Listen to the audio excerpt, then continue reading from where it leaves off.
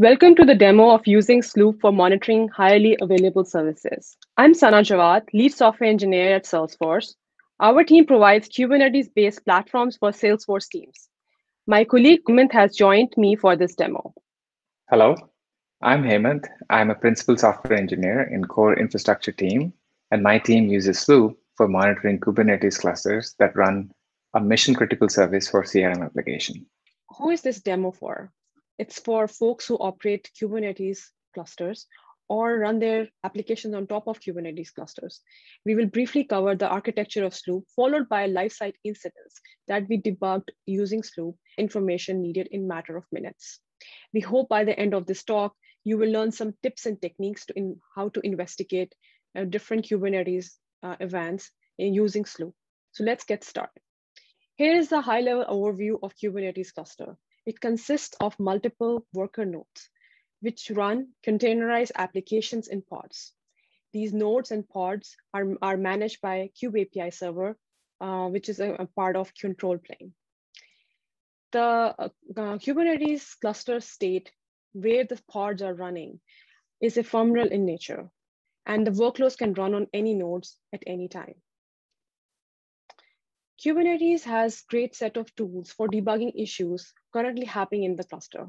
For example, we have Prometheus, Kube Dashboard, or kubectl commands. But oftentimes, when a live site incident occurs, the main focus is on the mitigation, and root cause analysis is left for later. This becomes particularly challenging for incidents that happen because of some Kubernetes events in the cluster, this information is available on the cluster for only one hour. After this, the only way to debug what happened is like by correlating multiple various logs of control plane and they're finding a correlation using timelines, thus making it hard to find the root cause. So there was a need of a tool which could provide Kubernetes resource lifecycle with timestamp also um, like um, show all the um, related Kubernetes resources for an event or a deployment at one place. And also um, have a very easy interface in terms of bar charts and diagrams, which are very easy to understand and get information. So our team at Salesforce released an open source project called Sloop.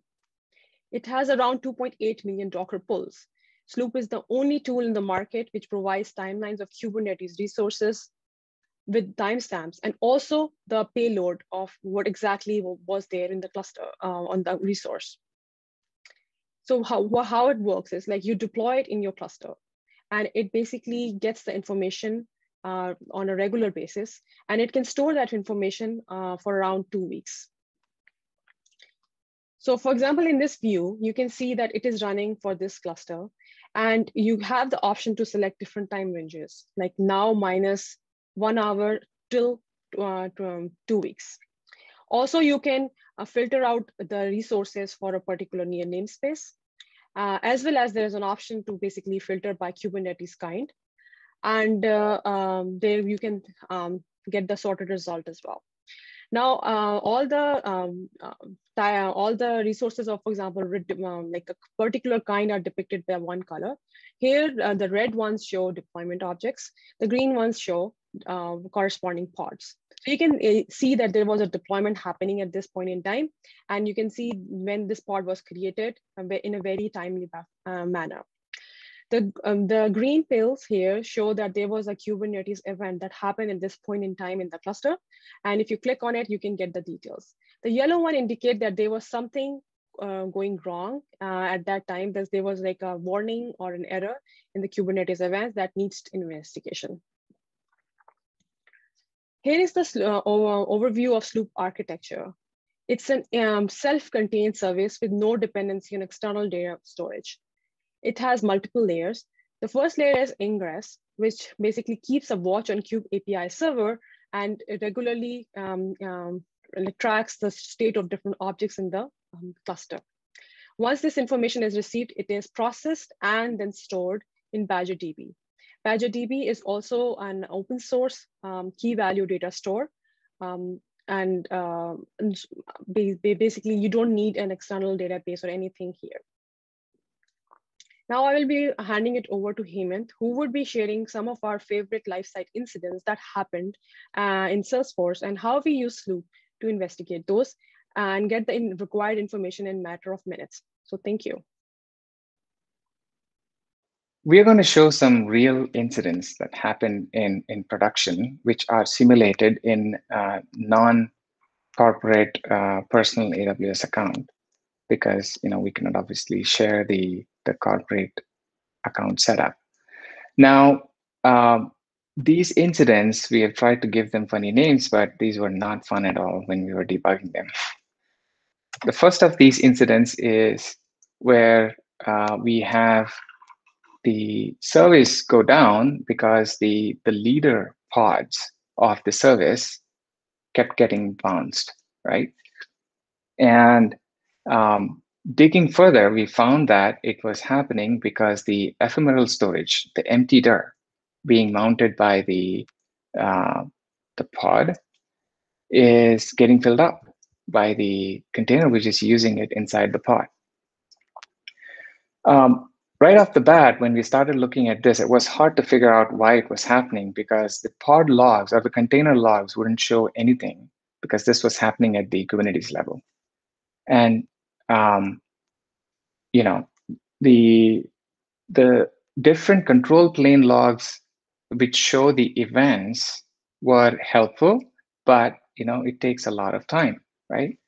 Uh, let us see how this was easy to figure out by using the Sloop UI.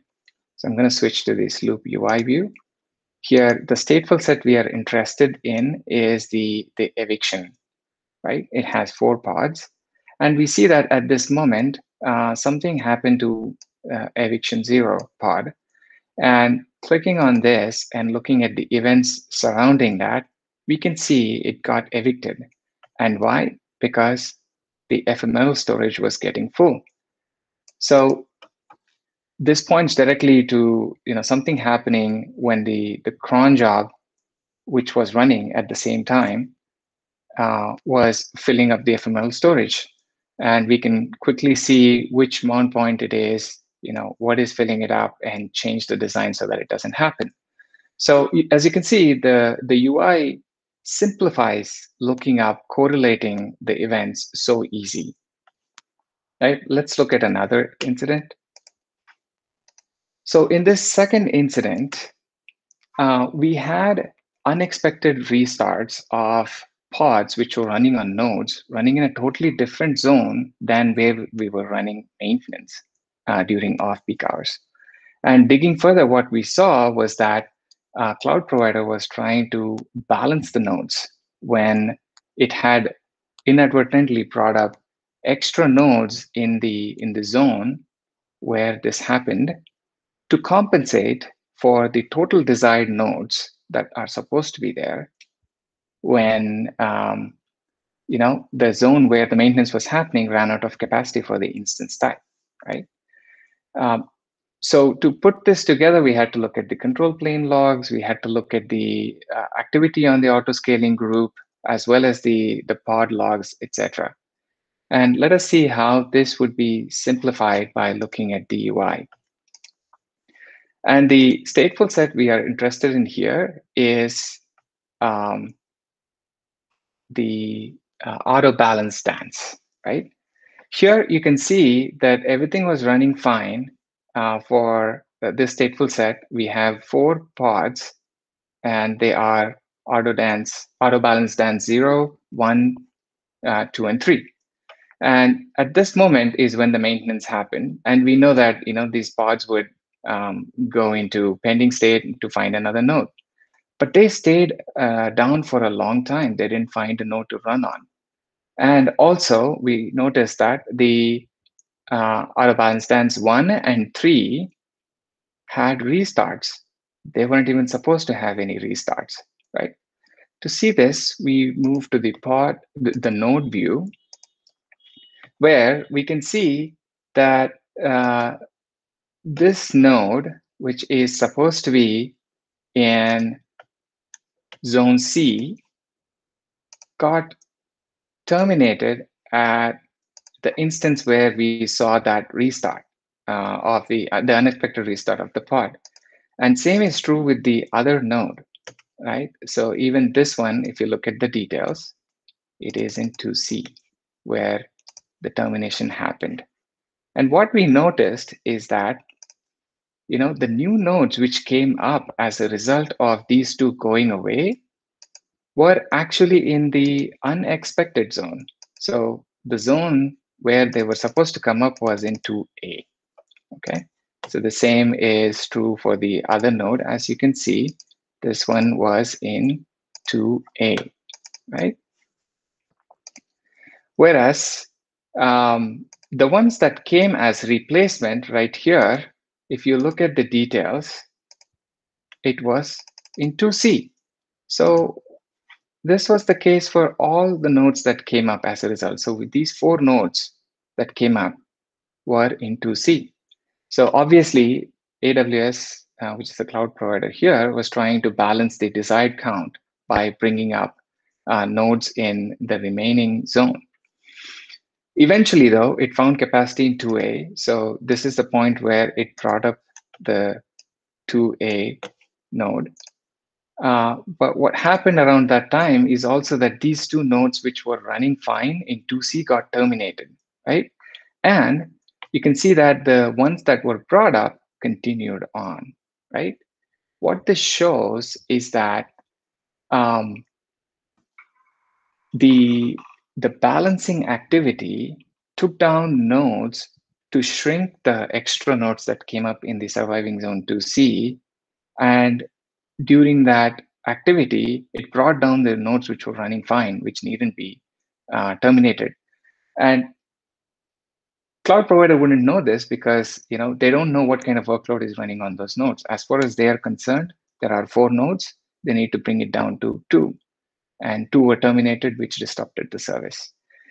See, uh, having this UI simplifies correlating these things so uh, easily. And let's switch back to the third incident. This is where um, this is less of an incident, more of a scenario that you can debug using the Spinnaker UI. Uh, oh, sorry, using the uh, Sloop UI, where for whatever reason, if the pod is stuck in pending state, it could be due to failed webhooks, failed mount points. It could be uh, due to remaining nodes not meeting the resource requirements, etc. If that were to happen at uh, off-peak hours where you are not watching and you have to debug that later on, then it helps really to have that history in the UI. So one such example can be shown in this Sloop UI, where if I go back to the pod view, um, and there was an incident where uh, this eviction one is stuck, right, in pending state for a long time. And digging through the logs, we can see this was due to a failed mount point. See, see this message where it says multi-attach error of the mount point, and you know, so these messages are at your service when you pull up the UI um, to see right away, you know, why that pod is in pending state at that moment, instead of um, digging through a bunch of logs trying to correlate exactly what happened at that time. So in this case, you see the mount point was um, failing to attach. And usually when this happens, the pod would get stuck for 20 minutes is what we noticed due to an EKS bug. Um, so yeah, these are the examples we wanted to show. And, you know, um, with Sloop, we can save the debugging time a lot. So please uh, try using Sloop, join the community, try to contribute if you can, and um, happy playing with Sloop.